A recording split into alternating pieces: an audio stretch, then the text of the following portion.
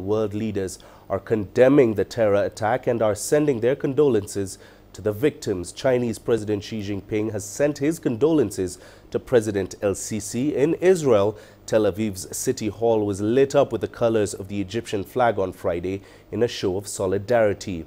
U.S. President Donald Trump condemned the attack as horrible and cowardly.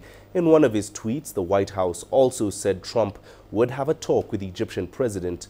Uh, UK Prime Minister Theresa May tweeted as well that she was appalled and sickened by the attack and sent her condolences. In France, the Eiffel Tower's lights uh, were turned off to honor the victims, and Foreign Minister Jean-Yves Le Drian called the attack despicable.